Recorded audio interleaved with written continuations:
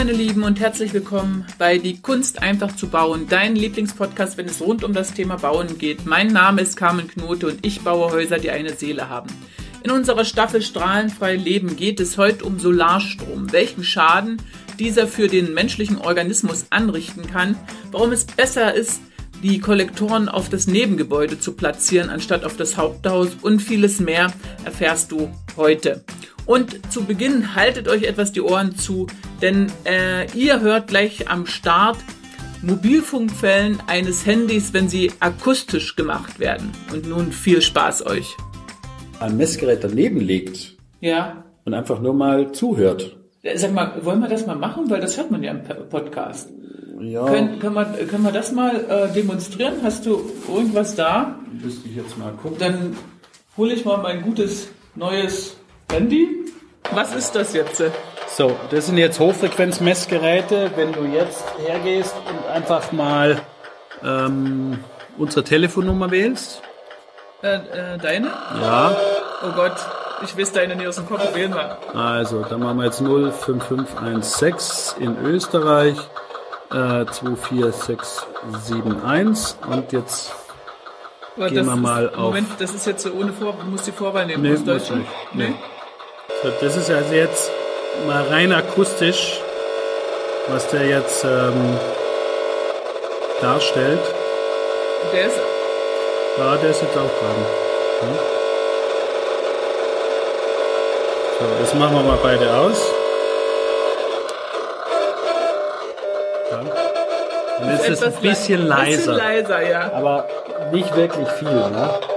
So, und das ist halt einfach diese Thematik, dass ähm, wir mehr oder weniger diese Strahlung ja äh, permanent um uns rum haben. Also das heißt, wir haben so viele elektrische Geräte, die da am Funken sind, äh, dass das akustisch wirklich ein absolutes Kauderwelsch ist. Ach, ja? Und wir machen das ja nur mess- und hörbar.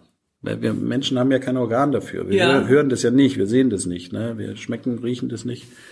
So, und dafür haben wir halt dann Messgeräte und die zeigen dir einfach mal, was da los ist. Ne? Und die meisten stehen halt in ihrem Wohnzimmer oder Schlafzimmer nur noch mit die Finger in die Ohren und sagen, ja, mach das aus, ja, das ist mir zu laut. Und aber genau so ich. ist es. Ne? Ja. Und das Nervensystem empfindet das genau so. Das ist für das Nervensystem Stress. So, und jetzt wollen wir dann wenigstens diese acht Stunden Schlafzeit, Regenerationszeit, wollen wir diesen Menschen mal aus dem Störfeuer rausnehmen. Ja, damit der da mal seine Ruhe kriegt. Damit der eben nicht mehr mit den Fingern in den Ohren im Bett liegt. Ja, und das ist halt eben wichtig. Das, äh, sag mir mal, so ein, hast du ein gutes Erfolgsbeispiel mal? Außer deine Mutter, das wissen wir ja schon, aber von deinen Patienten, erzähl mir irgendwas, was so nachhaltig bei dir einen Eindruck hinterlassen hat. Wir haben so viele Krebspatienten, die, also ich hatte, in München zum Beispiel hatte ich eine, eine, eine ältere Dame, deren Sohn kam hierher zum Lernen. Und die Frau hat sieben Krebsoperationen überlebt, muss man eigentlich sagen, in den letzten 20 Jahren. Und ähm, der Sohnemann war, hat eine Kfz-Werkstatt in, in äh, München. Der war also ja, so genervt von der ganzen Schulmedizin, dass er sagte, also ich mag das jetzt einfach nicht mehr, ich suche mir da andere Sachen. Und dann hat er irgendwo was gehört und gelesen über Geovital und hat halt gesehen, dass wir auch Seminare machen und dass wir halt diese Dinge im Unterricht erklären und das fand er ganz gut und ganz schlau und ganz spannend. Hat sich halt hier zum Seminar angemeldet. So. Hat ähm, hier diese vier Tage Ausbildung gemacht vieles Neues kennengelernt, ähm, vieles auch die Zusammenhänge kennengelernt, warum ist das so und warum ist das so. Fand das super spannend und ähm, ist mit dem Thema dann auch nachher nach Hause gegangen. So und äh, ein paar Wochen später rief er mich dann an und fragt, du, wann bist du das nächste Mal in München? Ähm, hast mal Zeit, kannst du mal bei uns vorbeikommen und können wir zusammen mal messen? Und dann war ich bei ihm und äh, war dann auch in dem Schlafzimmer drin und habe also dieses Doppelbett von seiner Mama eben vermessen. Und wir hatten also ein Gitternetzkreuzungspunkt äh, im, auf der linken Seite von dem Bett, so in Bauchhöhe, Bauchgegend. Und in dem rechten Bett äh, Brusthöhe links. Mhm. So. Und er, boah, das ist ja krass. Sag ich, wieso? Sagte, ja, die Mama, die hat ja wirklich ähm, ja alles Mögliche im Bauchraum. Ne? Ja. Und äh, der Papa ist ähm, letztes Jahr an Lungenkrebs links verstorben. Nee. Ne? Ja. So, und dann sag ich, ja, mei, das, wie gesagt, Ursache Wirkung. Ja. Und diese Dinge, die, die wirken halt auf den Organismus ein, ob man das will oder nicht, oder ob man das verstehen mag oder nicht. Das ist völlig wurscht. Das interessiert die Krankheit nicht. Ja. Ja, und wenn Das da Leute so, stehen und Sonne- sagen, Die Sonne interessiert, wo sie hinscheint. ja, und ja. wenn da Leute stehen und sagen, das ist aber alles Quatsch, da glaube ich nicht dran. Ja gut, dann ist es halt so, dann kann ich denen auch nicht helfen. Ja. ja. So, ähm, im Endeffekt kommt sowieso jeder. Also da braucht es halt bei dem noch vielleicht zwei oder drei oder vier Jahre Zeit, bis der Leidensdruck dann so groß ist, dass er sagt, okay, schmeiße ich meine Meinung über Bord, jetzt hole ich mir doch Hilfe. Ja, und dann gehen wir das Thema an und dann können Und, wir auch was, was, und bewegen. dann bei der Mama erzähl mal, was war, wie, wie ging es weiter? Naja, also die Mama, diese Mama halt eben von ihm, die haben wir dann geschirmt Mhm. und äh, mit dem das geschirmt wurde, war schlagartig Ruhe. Echt? Ja, und die rennt jetzt quietschfidel rum. Meine Schwiegermama, ja, ist, jetzt- also so habe ich meine Frau kennengelernt, ist dieselbe Thematik, ja, ähm, die kam zu mir, weil sie eine Vermessung haben wollte. Oder eigentlich der Schwiegerpapa. so, dann haben wir das gemacht, äh, also schon viele Jahre her. Und, und ja, so habe ich halt meine Frau kennengelernt. Wir haben jetzt zwei Kinder, äh, zwei nette Buben. Und ähm, die wohnen in Friedrichshafen in einem, naja, wie soll ich sagen, in einem Hochhaus. Ja. Ne? Also im neunten Stock oben. Und ähm, das sind alles Eigentümer von diesem Hochhaus. Also es sind eigentlich keine Mieter drin, sondern alles Eigentümer. Und die machen jedes Jahr so ein, ein Fest draußen im, im Garten. Da holen die sich so ein kleines Zelt und dann wird gegrillt und Kaffee gemacht und Kuchen gemacht und solche Sachen. Und äh, die Kinder, die finden das halt immer ganz lustig und wollen dann zu Opa und Oma Würstchen essen und ja, mit den anderen Kindern ein bisschen spielen. So, ähm, jetzt ist Friedrichshafen T-City. Das ist ein Ja. Pilotprojekt von der Telekom. Ja, das das heißt, alles, was die Telekom äh, neu auf den Ja. Markt bringen will, wird in Friedrichshafen ausprobiert. Ja? So, und äh, wir sind jetzt da, es ist Sommer, und ähm, jetzt war gerade einen Tag zuvor ein Artikel in der Schwäbischen Zeitung über irgendeinen neuen Funk-Tralala, was die Telekom äh, da am Ausprobieren war. Und die alten Herren saßen an einem Tischchen zusammen und waren am Diskutieren. Ja. Und unter anderem Karl-Heinz mit dabei, also mein Schwiegervater. Und da ging es hin und her und so. Ich habe das gar nicht mitgekriegt. Und irgendwann sagt der Karl-Heinz, Mensch, ah, wir sind doch blöd. Ja, wir diskutieren hier die ganze Zeit im Nebel rum. Dabei haben wir ja unseren Strahlenexperten da. Ja, Ja. komm, den holen wir mal schnell. Der kann uns erklären, was denn da eigentlich gemeint ist, was da in der Zeitung steht. Ne? So, und dann haben sie mich dazugeholt und dann habe ich denen das erklärt, um was es da geht. Das war eine neue ähm, Richtfunktechnik, äh, die da ausprobiert wurde. Und ähm, die Männer waren halt am Erzählen und irgendwie kam, einer sagte dann, ja, und meine Frau mit dem Krebs. Ah, okay. Und der andere meinte dann, ja, und meine Frau auch mit dem Krebs. Aha. Und dann kam der dritte und sagte, ja, und ich mit meinem Krebs. Und dann sage ich, Moment mal, äh, langsam, also wie viele Krebsfälle haben wir denn eigentlich jetzt hier am Tisch sitzen? Ne? Ja. Und dann sagte, ja, der hat das und die hat das und etc. pp. Und summa summarum, schwuppdiwupp, waren sechs Krebsfälle da. Ja. So. Mama war Nummer, Nummer sieben, also äh, Schwiegermama war Nummer sieben. So, dieses Hochhaus hat zehn Stockwerke. Dann sagte ich, so, aha, ich setze jetzt mal eine Hypothese auf. Ja. Ja, ich meine, ich kenne euch ja überhaupt gar nicht. Ja, ich Ja. weiß auch nicht, wo ihr da wohnt in dem Haus. So, ich stelle jetzt mal folgende Behauptung auf. Ja, alle diese Krebsfälle, wenn du reinkommst, äh, durchs Treppenhaus läufst und vor den Hauseingängen stehst, ist es die linke Wohnung. Jo. Gut.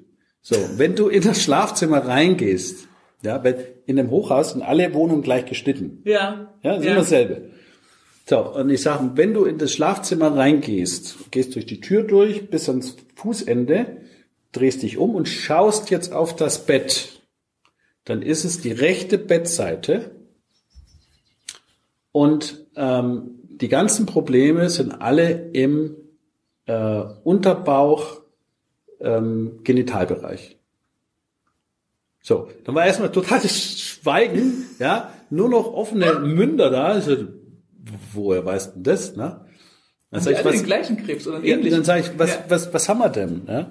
ja, also die hat Blasenkrebs, äh, Darmkrebs, äh, Prostata. Ja. Ja. Ähm, dann haben wir wieder Darmkrebs.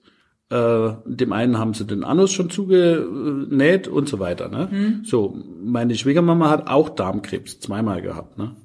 So, und das geht, da ist ein Gitternetzkreuzungsproblem, weil ich weiß das, weil ich ja bei der Schwiegermama vermessen habe. Mhm. Also, und diese Wohnungen sind alle gleich geschnitten und die, die Betten stehen auch alle an der einen Wand. Wenn du reinkommst, ja, zack, gleich ja. auf der linken Seite. Ne? So, und ähm, das geht quasi wie ein Bunsenbrenner. Von, von unten? unten, zack, durch alle Wohnungen durch. Das ist ein Ding, ey. Ja. Nee. Ja. Da waren die fertig mit der Welt ja. wahrscheinlich. So, und dann haben wir im Endeffekt nachher von den sechs übrigen fünf geschirmt. Die eine Frau wollte nicht. Äh, die sagte, nee, da hält sie nichts davon. Die, die lebt da nicht mehr, muss man auch dazu sagen. Und die anderen sechs, die sind happy. Da ist nichts mehr gewesen. Das ist jetzt vier Jahre her. Das gibt's doch alles gar nicht. Das ist doch der Wahnsinn. Ja. Das ist der Oberwahnsinn. Also machen wir mal weiter an der Stelle. Total danke, war absolut spannend. Ähm, eine Frage, ich hatte ähm, vorher noch gesehen, Photovoltaik, äh, mhm. habe ich was von, äh, gesehen. Was, was ist das? Das ist ja auch ein Thema mit von dir, aber was ist das Besondere? Ich habe da keine Vorstellung. Erzähl mal etwas darüber. Also ich bin ein absoluter Photovoltaik-Fan. Ja.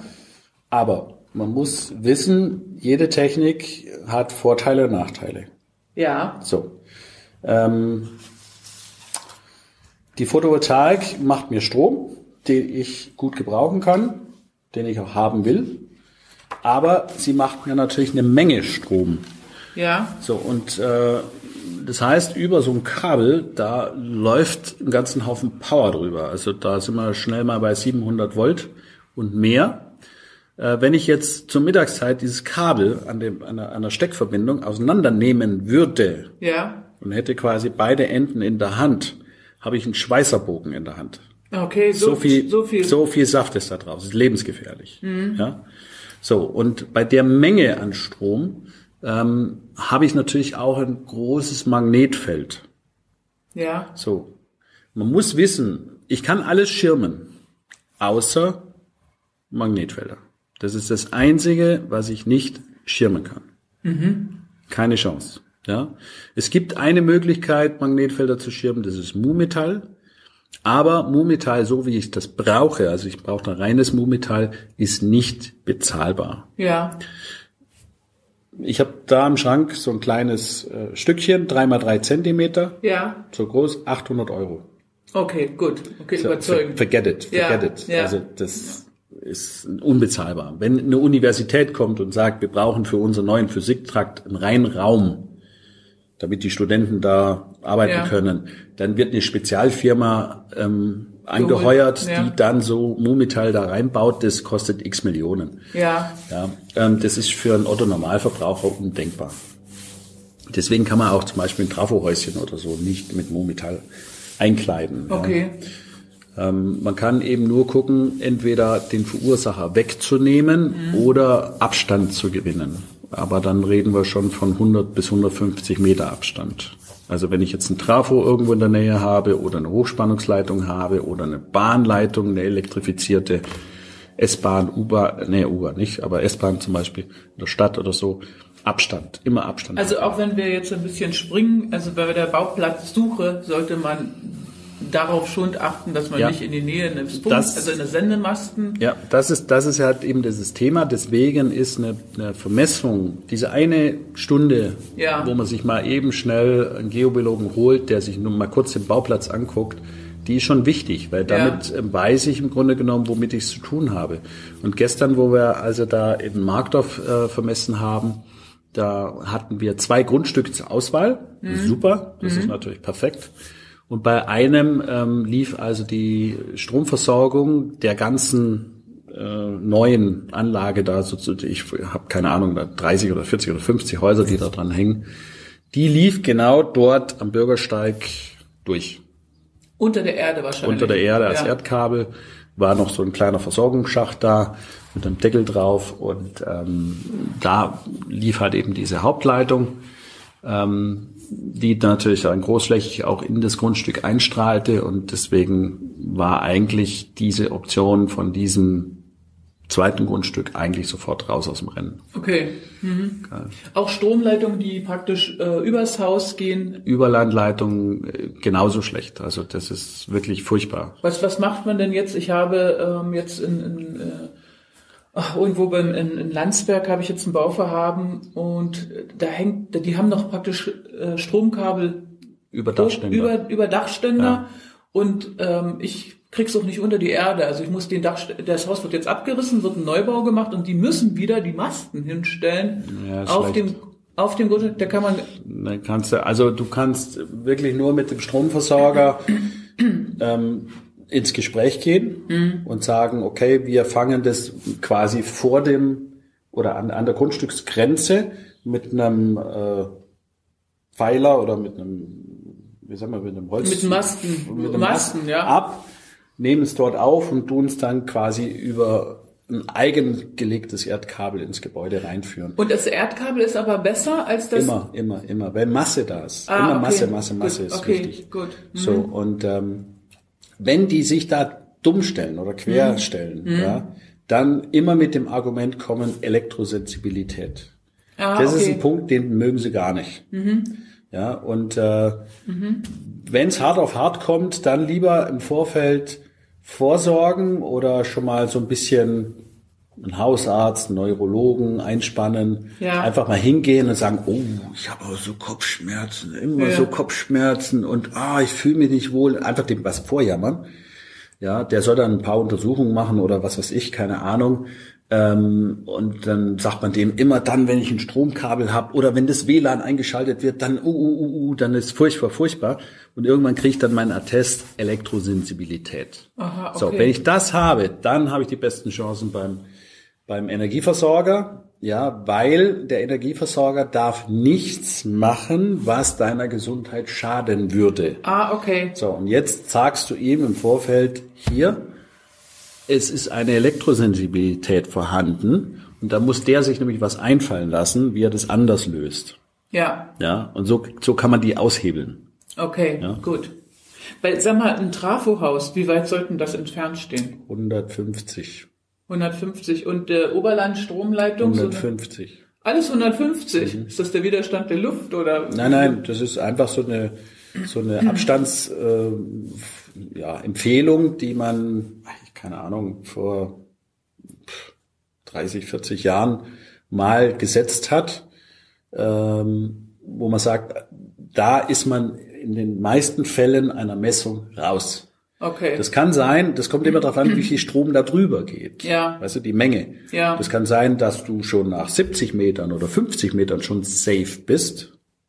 Ja? Also, also, sag mal, das ganz Tödliche ist doch, wenn du in der Nähe so eine Transformationsstation, wo das, äh, wo es ja, ja. Umstand, Umspannwerk heißt das. Ja, aber auch da ist dasselbe. Das sieht nur 100, optisch ein bisschen hässlich aus. aus. Okay, auch 150 ja. Meter. Gut. Okay. Aber mhm. die, schau her, du hast jetzt zum Beispiel ein Trafo. Ja. So, ähm, ist ein Wohngebiet und bei der letzten Messung vor zehn Jahren wegen mir hat man festgestellt, okay, man könnte sogar 40 Meter an den äh, Trafo ran.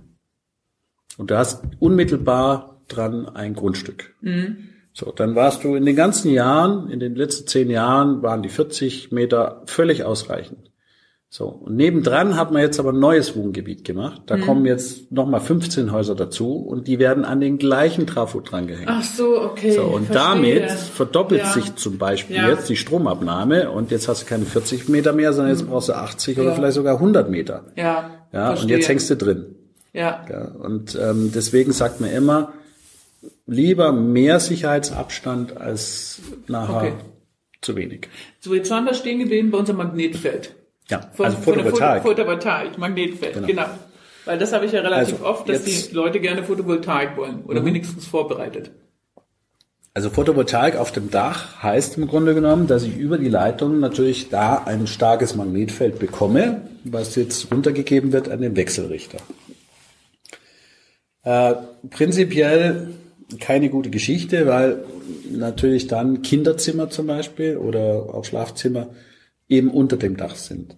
Ich habe dieses Problem nur am Tag, nicht in der Nacht.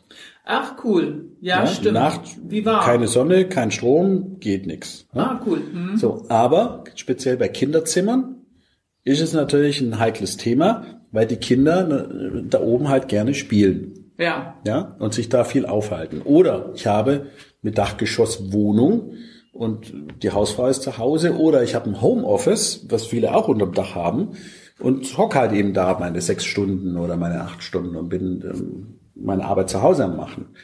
Da, da ist es ein Problem. Ja. So, grundsätzlich muss man das halt abwägen.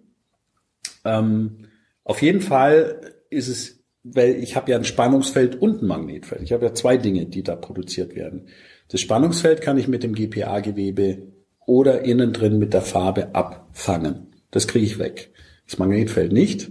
Ähm, wenn denn unbedingt eine Photovoltaik aufs Dach muss, dann lieber beim Sigi nachfragen. Der Sigi hat das raus, wie man mit der Kabelführung 90 Prozent der Magnetfeldbelastung wegkriegt. Sigi ist der junge Mann, der uns vorhin gestört hat, übrigens. Ja, der Sigi ist Dozent bei uns. Ja, der macht also unsere Photovoltaik-Seminare. Ähm, alle anderen Solateure, ich frage mich nicht warum, ja, es kriegt keiner hin. Das, also hole ich mir einen Wald- und Wiesensolateur oder einen Installateur, der mir da irgendwas oben drauf macht, wird nur Banane gemacht. Was ist denn der Unterschied dann? Oder kann man das überhaupt erklären? Oder also kannst du ein paar, ein paar Eckdaten sagen, was der Unterschied Also im Grunde genommen ist es, ist es, ist es wie diese Geschichte mit den Wellen. Ja. Du? Dass wenn du die Kabel richtig führst, dass sich diese Felder gegenseitig aufheben oder eliminieren. Ah, So, okay. und dadurch krieg ich's runter.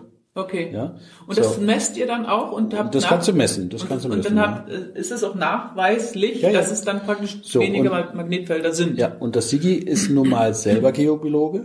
Ja. hat äh, einen Bauernhof ähm, sich mal zugelegt und Mhm. hat da eine riesengroße Photovoltaik drauf gemacht und hatte natürlich aus Eigeninteresse schon gar keine Lust auf große elektrische oder magnetische Felder und hat dann also an seinem Haus so lange rumgetüftelt, bis er den Dreh raus hatte, Okay. wie ah, er das macht. So ist ja? das entstanden. Okay. Genau, so ist das entstanden. Und von daher, also alle, die hier in unserer Gegend sind, ähm, schicke ich Sigi hin und die sind auch alle zufrieden und begeistert. Okay, wir verlinken Sigi hier unten in den Shownotes dann dazu. Ja. Ich danke euch für das Zuhören. In der nächsten und vorerst letzten Folge geht es um Elektroautos und die dazugehörigen Ladestationen. Ich lade dich ganz herzlich dazu ein, abonniere am besten meinen Podcast und sei bei den spannenden Geschichten live dabei. Und wenn es dir gefallen hat, dann freue ich mich, wenn du dir die Zeit nimmst und diesen Podcast bei iTunes eine Bewertung gibst. Ich danke dir dafür. Ich wünsche dir das Beste und vielen Dank nochmal fürs Dabeisein und Zuhören.